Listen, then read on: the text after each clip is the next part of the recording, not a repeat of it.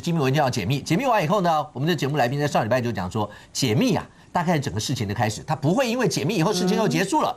结果到了昨天以后，果不其然，昨天呢，宇昌案的机密文件解密完以后，今天从昨天一整天一直到今天，包括你把报纸所有的媒体打开的头条、二版、三版，然后包括电子媒体几乎都在讨论这件事情。然后到了昨天呢，的呃整件事情本来大家都在讨论说有没有观感不佳，有没有旋转门，里面有没有就是家族投资获益的一些问题。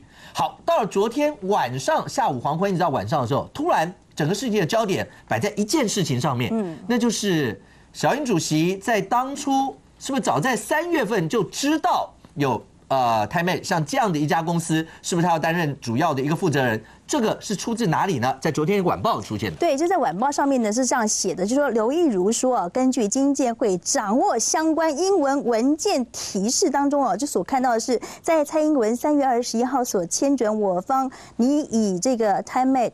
这样的一个形态与这个就是这家科技公司来去洽谈合作之后呢，就发现呢，这 Time 的英文呢，将这个成为 Time 上面 Group 的主要的这个投资人，也就是说蔡英文呢是成为它里面的主要投资人。这句话一讲出来之后，大家就来讨论说，哎，是不是有这个特别不一样的地方？好。那这从昨天晚报出来这件事，当然就是因为昨天那个经监会主委刘友就在立法院经济委员会的记者会上面就讲了这一段。然后晚报出来以后，在昨天节目现场，我们来宾在讨论的时候，大家突然发现，哎，这一段是不得了的。对，我们昨天节目来宾就讲说，如果这一段是事实的话，那小英大概就不用选了吧，大概就已经结束了这场选战。呃，对不起，还有宋楚瑜主席，OK OK，因为大家就讲说，因为这个事情如果在三月份，小英当时就已经列明在这里面是主要投资人，然后到了五月份你才卸任，到了八月份你才是的话，等于说他是早知道的意思。对，甚或我们的节目来宾像姚老师来讲说，这有没有涉或涉及到贪渎或所有的案子都要去查，然后到了这几件事情，民进党就摆出非常强硬的态度想说，由于如果到今天下午三点以前，你如果不道歉的话，你把原始文件不拿出来的话，我就要告你。对。好。到了今天上午，你看到所有的早报都是怎么写的呢？写的，我们就看到他们写说是蓝营就表示说呢，这家公司啊，这个英文募资说明书，就是刚刚讲说那个英文那个部分，那里面的这个蔡副院长列为负责人，那绿营就说这要告到底了。嗯，好，那今天的早报大概都是像这样的一个新闻，然后整件事情大家今天都在等刘玉如主委。会不会道歉？会不会做什么事？蓝营绿营到底会双方还在各自较真，告到底啊什么的。那结果到了今天晚报，就今天大概两点多的时候，刘玉如主委呃发了声明稿了。对他就是说这家公司这个金建会投资说明文件 八月当成三月，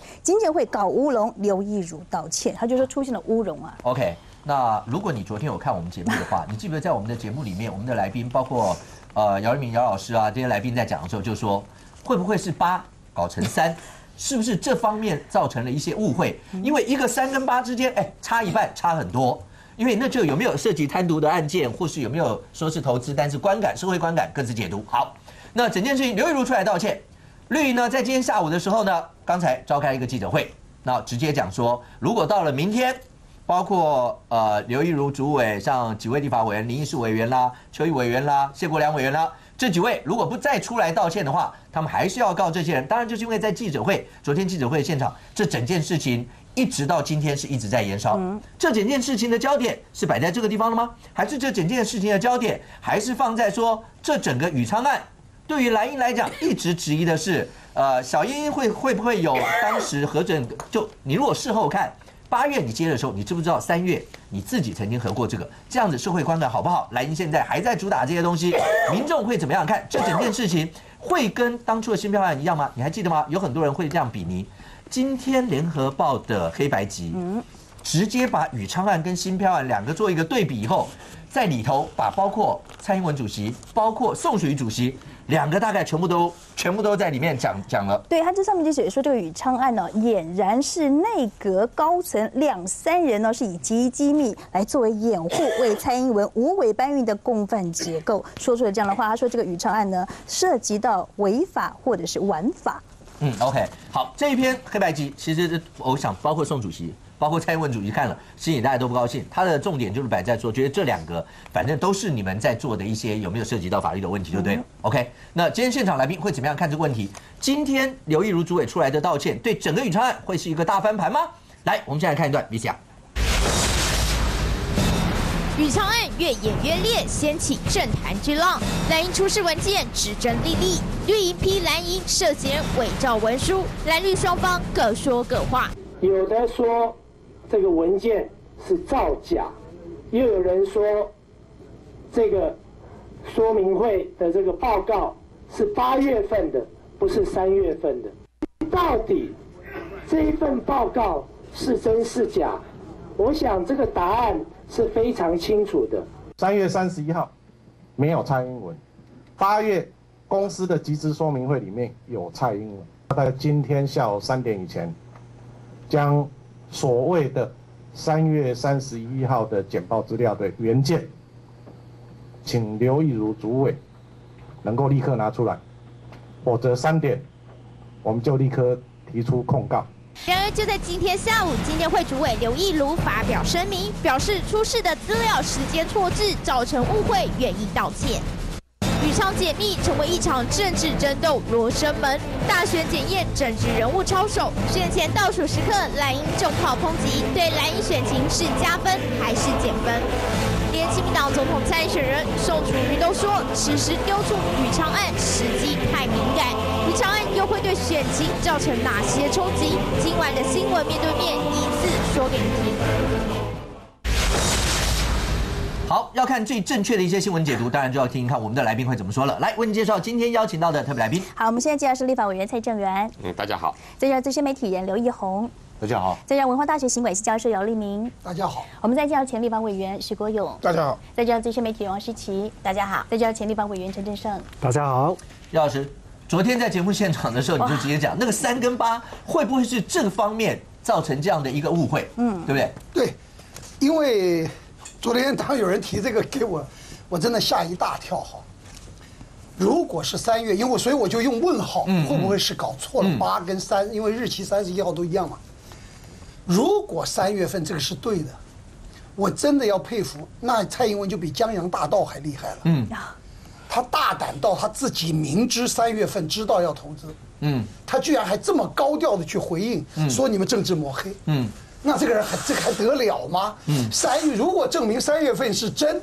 有投资，他知道要投资，他自己公司还有投资，然后他现在被揭发出来还这么样凶，所以我就觉得太不合常理，怎么可能有这种人呢？所以我就用询问口气，我认为应该是吧，因为我知道两件事情，公司是八月份他担任的，嗯，第二八月份开过投资说明会，嗯，第三八月份要钱过来，这都是在八月发生的，所以这可能会。有三误解成八，我当时可能认为是手值啊，或怎么这个改错的，我万万没想到。当然，今天我看到资料，根本是有人后加上去，这个简直是，呃，匪夷所思哈。所以我认为，如果昨天我就讲，如果是三，我昨天就讲了，蔡英文退选，嗯，不要讲，因为他犯罪了，嗯，而且犯了不轻的罪啊，叫图利罪，是贪污的一部分呢。你政治上已经跟不要讲说政治上一定会跟扁政府连在一起。那你肯定法律上都已经要负责任了嘛？你三月份都知道你自己二月份和三月份做这公司，然后你五月份下来做他董事长，这是不可以的。结果，呃，我就是因为昨天，呃，这样说明，我认为这样子。大胆的可能性太低了，对，因为他还公开，他还公开讲说他在前面筹设的时候完全都没有参与。如果像姚老师讲，那三月如果里面有你的名字，那就不不不得了，那就不得了，政治崩盘了嘛。对民进党来讲，所以我认为这个就不不不需要讨论，只要证实这个三月份到底是真是假就。所以我就认，所以我昨天的评论就认为有可能，嗯，因为这么不合常理啊，有没有可能是？五呃那个日期的错误三跟八，因为三跟八实在有的时候像像了一点啊，那这一点好吧？因为差差一个耳朵嘛。那可是我昨天没有办法，我手上没有英文资料，我也没有对照版本嘛。这是故意的，不是误解，所以我就不知道了。我现在我今天看到这个钞票，我就觉得大胆狂徒，有人敢这样另加日期进去，这个简直到了匪夷所，因为这个是也犯了罪哈，伪造文书也好。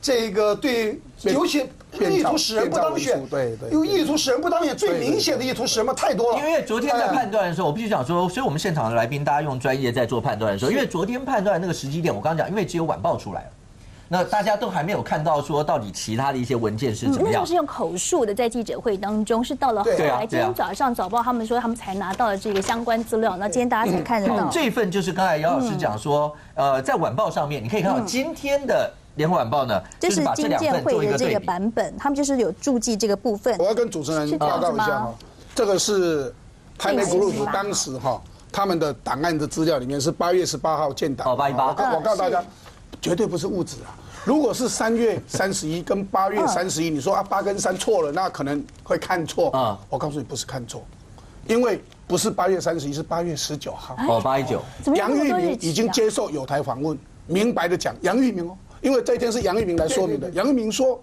是八月十九号，八月十九也不是八月三十一号。但十九跟三十一总不会搞错了吧？所以啊，不是，绝对不是误指。这第一点，第二点，杨玉明说绝对没有这份文件，嗯，这份文件就是著名的记住了的。对对对杨玉明说这一份文件是伪造的，杨玉明直接讲伪造的，所以啊，国民党凹伪落去啊啦。阿伟落去了后呢，人家再把真的文件又拿出来，这是真的文件是没有的。结果呢，所以刘义如抓归再去抓招一米啦。你看找了一早上找不到人，哎，有那个政务官上班时间找不到人的。我想姚老师当过立委，我也当过立委，现在现任立委蔡立委在这里。为了政府官再去招一米工上面人找拢找不回，我就有政府官，为什么？在危机处理啦。国民党在开会啦，讲哎，这边要处理，代志大条啦，他只好出来承认啊。不不，等一下，你刚才两份我们先跟观众讲一下，因为嗯原来大家看到上面有注记的那一份，有注记的那份为什么呢？在昨天因为在这里头有出现一个就是蔡英文的名字然后呢对对对，然后英文里面有介绍，嗯，我我还要再提一下，我我再举一个哈，那我想大家都知道，我们都参过参加过很多学术研讨会 Yeah 哈。我要跟大家讲说，蔡英文是五月的时候卸任行政院副院长，对，所以你看这里有个英文蔡，对不对？嗯好，英文蔡啊，蔡英文，二零零六、二零零八，亲如果这个表示什么？表示他是卸任的。嗯。因为如果还没有卸任，为二零零六一横后面是空白的，对不对？嗯，我们在参加很多学术研讨会，在写论文，一定是这样子嘛。嗯，那所以这个文件是二零零六到二零零八，从这个的说明啊，对对的，二零零六到二零零七 就知道说。这个时候蔡英文已经卸任了啊。不可能是三月嘛，因为三月那时候他在当行政院副院长，所以单单从这一点都知道说，我记得我上面那个三月是错的。对，所以绝对是错啊！这个错是谁填上去的？